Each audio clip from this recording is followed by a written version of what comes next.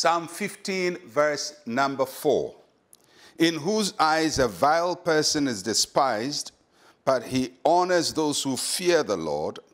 He who swears to his own hurt and does not change.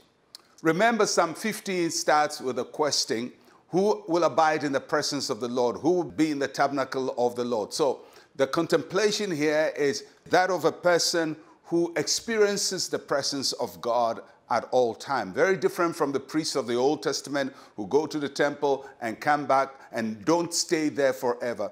David is asking, What must I do to always feel the presence of God wherever I am? In my home, at church, in the office? What kind of behavior should I put up if I want to sense God's presence? with me at all times. So that's what he's leading us through. And here he's talking about two things that, two more things that we should be doing. And he says we should honor what God honors. He says uh, that in our eyes, a vile person should not be honored. What does that mean? In, in other words, you don't take somebody who is really doing the wrong thing and make him your hero somebody who is despising God, uh, and yet you, you, you approve of the person. You know, in our current celebrity age where all of us love people uh, on social media, on TV. Uh, we, we create heroes out of people whose lives are very questionable.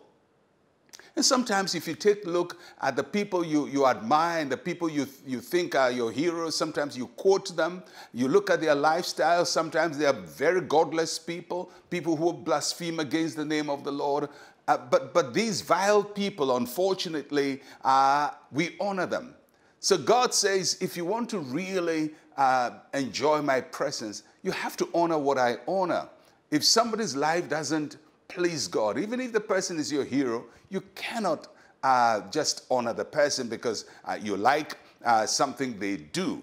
So, as believers in Christ, we must honor the people and things that God honors. We must be selective about what we approve of.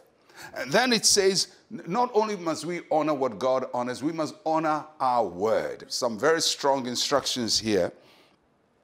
And it says that even when you speak or you give your word, you make a promise, and you realize that uh, fulfilling the promise will hurt you, you still have to go ahead and fulfill your promise. That, that means your word must be a very serious thing to give.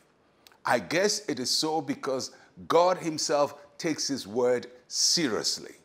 God's word is important. He created all things by His word, and He created us in His image. That means our words must also be important to us. Our word is part of our personality.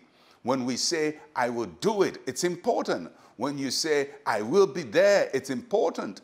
And so here the passage says, if you really want to please God, you have to honor your word. You have to honor your word.